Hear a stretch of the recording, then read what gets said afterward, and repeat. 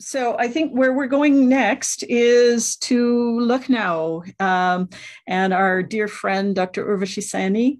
Um, Urvashi is the uh, founder of uh, and CEO of Study Hall Educational Foundation. Um, she's a social entrepreneur, a women's rights activist, and an educationist who has been a pioneering activist in the field for more than three decades. She's a leading expert in curriculum design and reform, teacher training, education governance, with a special focus on girls' education and gender equality. She is so much more than that, uh, too, because she is uh, an inspiration to many of us who are in the room right now. Uh, with that, I turn it over to Urvashi. Thank you, Reva. And uh, thank you for organizing this. So topical, so relevant, and so important. Uh, you know, uh, many of uh, our teachers and students from Study Hall Education Foundation Lucknow have joined. And I'm sure that they have been, they are delighted by uh, all the presentations that they've been through. So thank you very much. And I'll start right away. So uh, Reva, can I share my screen? Yeah, sure. I've given to Gary and he said I could. So I'm going to try that. Yeah, sure. I've given you the permission, Urvashiji. Okay. Tell me when I can do it, Navi. At the center, you see a green button that shows. You know, but I'm going to just. Ah, there we are.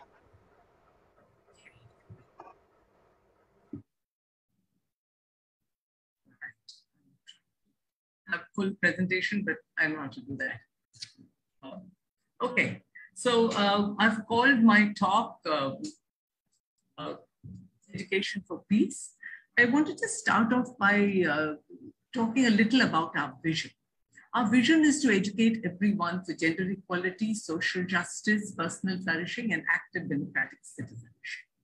And we believe that the important aim of education is not just to know, but to learn to live. And this comes from a guidance, Boleslavsky.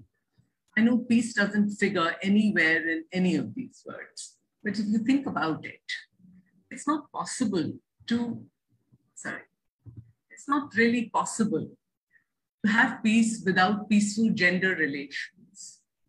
And that's not possible without gender equality. And secondly, you can't have peace unless you have social justice. And if you want personal flourishing, then you need to have a peaceful environment for people to flourish. And all this is not possible unless you have a vibrant, active democratic citizenship. So we have, we work at peace. In a, I will be giving examples during my presentation of how we work at we really believe that the goal of all teaching and learning is to help enable students to find answers to the central question, who am I? And what is my relationship with the universe and others in it? I think this is an important question. And in fact, I was very struck. I had a conversation with some of my students. Many of them are here. And by the way, we have students from class three onwards, if you notice. And it was interesting. We started off with talking about Ukraine, and then we went on to different kinds of violence. And finally, the students came up with the fact that it's all about self awareness, all about our relationship with the universe, with ourselves, and with everyone in it. And I'm reminded actually about of a Vedantic uh, aphorism, which says, Aham Brahmasmi. What that says very simply is that I am everything that exists and everything that exists is in me. And you know, if you can understand that deeply, and I think that's the essence of the Vedanta philosophy, then how can you have anything but a loving relationship with everyone and everything in the universe? Um, we really believe that classrooms are magical and radical spaces of everyone talks about the lack of education as a result of all the ills in the world. But I ask the question that we have had more education over the decades and the centuries, and have we become more loving? Have we become more peaceful? Have we become more nonviolent, more caring, more just? I think not. And I don't know whether, I'm sure Putin has a string of uh, degrees next to his name. So I think that yes, education can be a very powerful individual and social transformative force, but provided it is transformed, provided we use its potential to do more than just reduce it to technical learning. As one of our students said very uh, wisely yesterday, she said, you know, we need to make a distinction between literacy and real education. And real education is much more than that. It is about learning about yourself and how to live. Uh, our organization has been working at this for the last, over the last three decades. We work with a variety of students, and I won't labor that, but from urban uh, environments, rural environments, very remote with special needs children, and they're all represented here in the audience, by the way. They're all here in full force to learn and to share. You know, I mentioned, if you looked at our vision, and again, I'm going to refer to the conversation I had with our students, when we started to speak about Ukraine and global wars, and we asked the question, is that the only kind of violence? And I think somebody mentioned, I think it was you, uh, Christy, Simone, about the kinds of invisible violence, which happens every day and it goes unnoticed. And I think the most important violence that I have experienced personally in my life, and I see every day, is something that India's daughters face all the time. They're unwanted, unsafe, unequal, unfree. I won't read, they don't have the heart to read all the statistics that you see, and I'm sure you have read them. but while we've been talking, while I've been here, imagine at this presentation, while we've been here, I've been here for an hour now, four girls have been raped. So girls and women live under terror all the time, and it's an important kind of violence. And while that happens, what peace do we talk? What do we do and how do we address it? We've developed a critical feminist pedagogy, and we sit down and we talk we tell stories. We tell stories about our own lives. And the idea is to understand why this is happening to us, to us, to our sisters, our daughters, our mothers. And to understand that it's like somebody else said earlier, that it's not just me, but it's happening with everyone. So clearly there's some problem with the structure, problem with the system. And once you understand that, once you talk about power, see how it plays it, who has it, who doesn't have it, and why, and you understand that this is human made. This is not God made. This is not natural. And you are helped to envision a world where things can be different. It can be non-violent. It can be nurturing. It can be caring. It can be a peaceful world. Your gender relationships can be peaceful and loving and caring and nurturing. That is when you begin to find the courage to transform. We use critical dialogues as a regular part of our curriculum every week every week. And we found them had, had to have a huge impact. But we don't just use, we don't just sit and talk. We use drama, and someone else mentioned the importance of drama. I think, Joe, it was you. We have found it to be a very powerful tool. It is a way for girls and others to rehearse resistance, to rehearse the solutions that they find together, and actually to rehearse life and give them the courage to go and perform this in real life. They use poetry, they write about their lives, they write about their indignation, indignation because we know that people don't have to do that And then while they are doing it, it's not just a process. They read it out other. They find ways. It's self-transformative. And they're able to hold each other in that space and find ways to transform. We don't talk, we don't work only with girls, we work with boys too, and many of them are here today in the audience because we realize that it's not enough for girls to change, but boys must change. In fact, our campaign this year, very large, India's Daughters campaign is best to boys and men, and saying that Okay, tell us, boys and men, how will you change and what will you do to make sure that India's daughters are safe? Our goal with them is for them to understand that, you know, there is another way to be a man. Violence need not define men. That you can be a caring, nurturing, loving, gentle man and still be a really good man. And they have learned to do that. We tell them that patriarchy is not your fault, but just look at how cruel it is to your sisters, your mothers And there are various ways in which we do this, and I'll give you a very small example. We asked our boys to uh, tell us what they did the whole day, and they did. They told us, and every almost all of them went out to play in the evenings in the playing field nearby. And I said, "What about your sisters? Do they go out to play?" They said, "Ah, they stay at home, they work, they cook, they study, they don't work." I said, "Then why don't they?" They said, oh, "Because there's household work to do, and you know it's not safe." Said, "Hmm." And are they okay with that? Yeah. I said, well, why don't you go ask them? They went and asked, and they came back very chastened. They said, "They want to go. They would like to go out and play." I said, so what can we do about that? So one of them said, you know, we should take them with us. And then maybe our parents will let them come. I said, yeah, but then who's going to do the household work? He had no answer. Then one of them very hesitantly put his hand up and said, you know, well, maybe we can help them and then we can all go together. So that's how we try and build empathy. Very naturally, very gently, very normally normalizing equality and trying to deconstruct the normalized inequality and violence inherent in gender relations. And once again, it has had huge impact.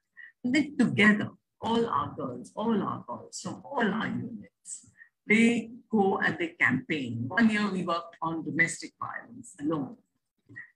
Girls and boys ran signature campaigns, they did street plays, and the whole goal was to get the community to understand and to see how violent life was for women and to pledge that they would not do it.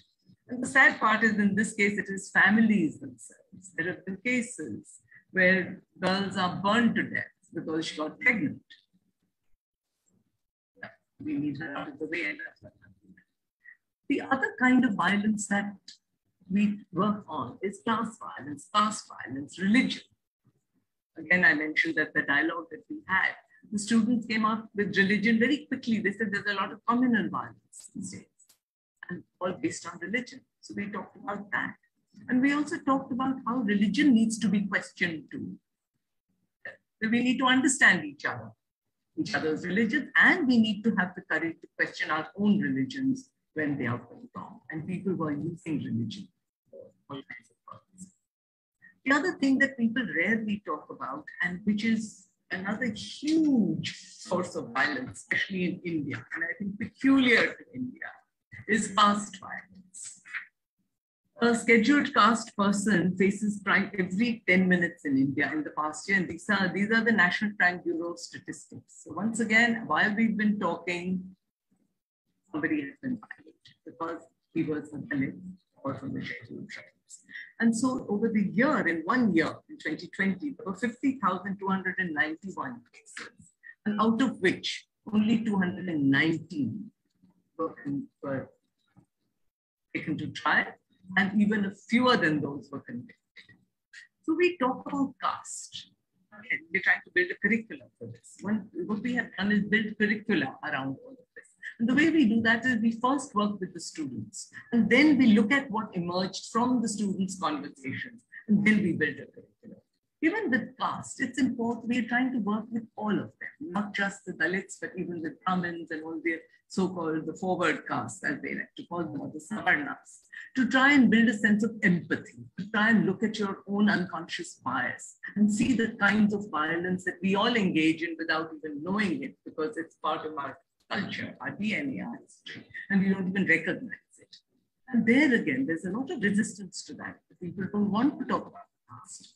And, and there is enormous caste violence that goes, like somebody said, invisible, not so invisible, but just normalized. The people just accept it because they don't, they're not aware that it, it they just, they, they get numbed by it because it happens so much. And because caste is such a strong reality in this country, even so after so many years of independence, when it shouldn't be there because it is antithetical, patriarchy, caste, these are all antithetical to democracy. They should not exist because they violate the principle of equality. They're very violent, but nobody talks about them. So what we do is talk about power, have an open discourse of power in the classroom, make it a safe space to talk about it to act it, to understand it, and then see how to deconstruct it. This picture, and actually, Reva, you were there for this class that we took. and some of your colleagues, where we talked about terrorism. We got them to act it out. We acted out the scene of terrorists. And the way we did it was one group was sitting at home with their families. These were terrorists. And tomorrow they were going to go on a suicide mission and blow up a train. So we asked them how they felt. They were supposed to sit down. We told them, close your eyes and put your hands on your chest and think of how you're feeling. Many of them said scared, no, but determined, strong, courageous. And then how did the mothers feel? How did the sisters feel? What conversation do you think they were having? And the mothers and sisters trying to dissuade them that don't go. The people, you shouldn't be going. No, but it's important for our religion. And then we acted out the scene of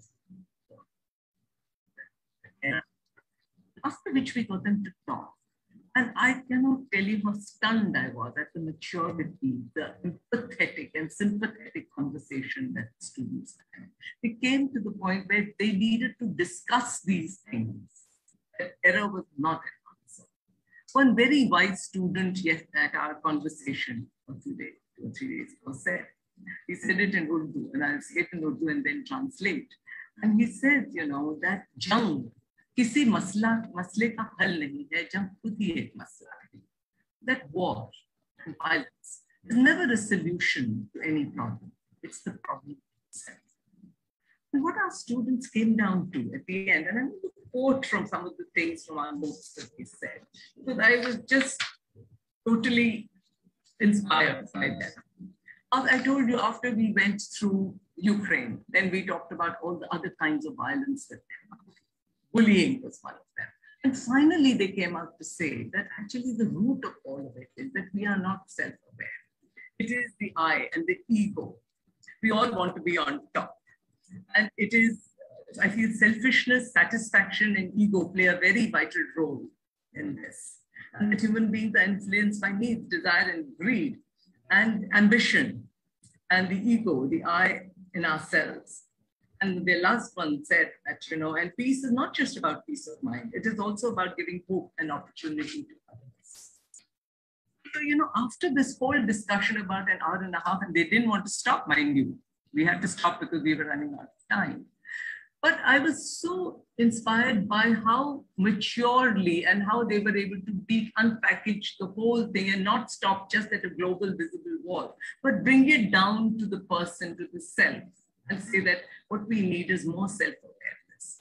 And they all agreed that school is a good place for us to be discussing this, stopping this, and if there's any future, then we need to take, talk about violence, talk about power, talk about everything that is wrong, and find together solutions of solving our conflicts without violence. And of course, they also said, and our boys said it, by the way, that, you know, somehow if we had more women as leaders, the world might be different. Because boys and men seem to think that violence is the first thing, and also they wear it like an ornament almost, that it's a badge of honor. So I'm going to close there, Reva, and uh, just end with what our students said. That and go back to the question that I had put on our slide earlier. That who am I and how am I related to the universe and others in it? I think that's a really important question that we should be saying. And I can see in all our presentations with Simon, Christy, yours, that how in various ways, I think that's what we are trying to do. Get our students to understand who they are, understand what their relationship is between the trees, the stars, the river, the mountains, but everybody else what is that? Is it a competitive one? Is it one of power? Is it a collaborative one? Is it loving? What should it be? What can it be? What's the potential? And I think it's time that our curriculum everywhere changed from a de- decontextualized, self-alienating focus on technical education and bring it back to the self and our relationship and our connectedness with everything else that's the only hope. And that's one way to achieve. I'm going to stop there. Thank you so much. Thank you so much, Urvashi. Um, once again, I'm just blown away by all of the work that all of you are doing through the Study Hall Education Foundation and the amazing things that you personally continue to do.